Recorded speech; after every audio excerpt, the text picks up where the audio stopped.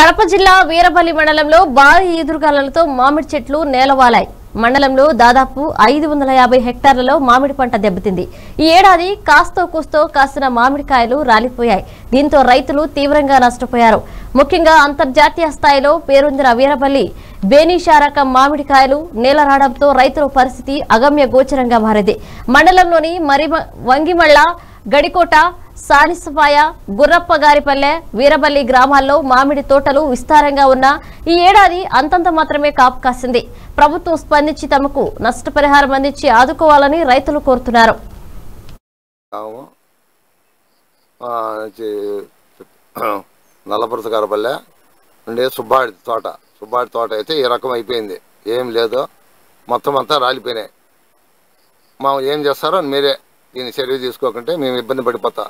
ఎందుకు రాలిపోయినాయి ఇవి? ఎందుకంటే గాలి అలివి కానీ గాలి. తోట కింద అంటే చెట్ల కింద పడతాంటే కాయలు నెత్తిన పడతాంటే ఎందుకు ఈ గాలి కొనలేక దీనికి ఇంటికి పోయినా? తట్టుకోలేక గాలి వానుకో. మొత్తం ఎన్ని ఎకరాలు వేసినావు? మందికి వేసాం ఓ పదహారు ఎకరాలు ఉన్నది తోట. బేనస్ అంతా మూడు వందల యాభై చెట్టు బేనస్ ఉన్నా. రెండు మూడు వందల చెట్టు ఏమో పసందా ఏం లేవు.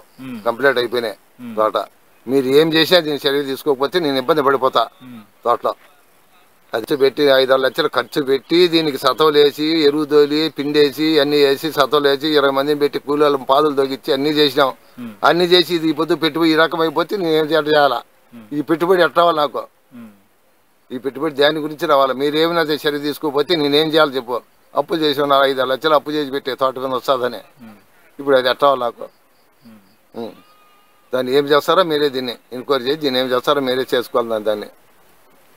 ప్రభుత్వం అంతా దీన్ని ఆదుకొని నన్ను ఘటన గడనేయాలా మీరు? ఏం చేస్తారో?